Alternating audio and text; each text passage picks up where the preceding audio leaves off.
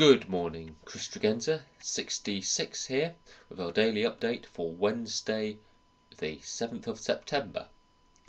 Big news today is that Quantum Flux is launched today. Quantum Flux is our second one shot adventure. This is cover. Um, it's a science fiction adventure, bears certain similarities to classic films like Alien, uh, but with all sorts of other influences thrown in. It's a great adventure. It works as a sort of one shot, quick one shot, one session adventure. We often use it for our demonstration games, and the whole thing can be completed in about three to four hours. Or you can be playing it for a much longer game over multiple sessions. The difference being is that whether you place the emphasis on the characters just surviving and escaping from the deadly situation as quickly as possible, or whether they concentrate on fulfilling all of their mission and recovering the spaceship they're originally sent for. Uh, as you can see, it's a fair size. Um, what do we come into? About 90 pages all told, with about 20 pages of cards, of characters, and equipment.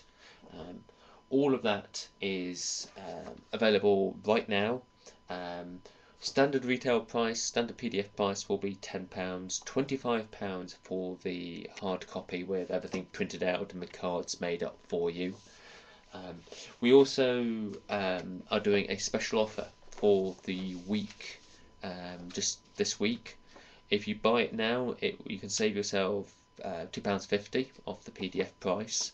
Um, you can also buy a bundle of Quantum Flux and the core rules to save you a bit more money, or you can buy a bundle of Quantum Flux, Outbreak, and the core rules at a really good price, a really bargain price.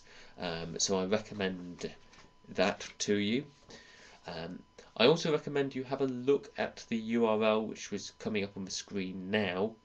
Um, that if you follow that URL, you will get an even bigger discount. That's a discount especially for our newsletter readers, but I figured anyone who's been watching my videos for the last two or three weeks deserves an extra discount.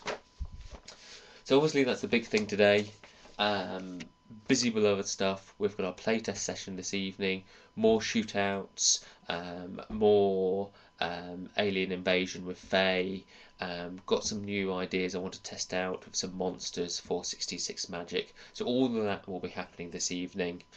I need to go and get ready for all of that now because uh, it takes me several hours. So until tomorrow, have a good day.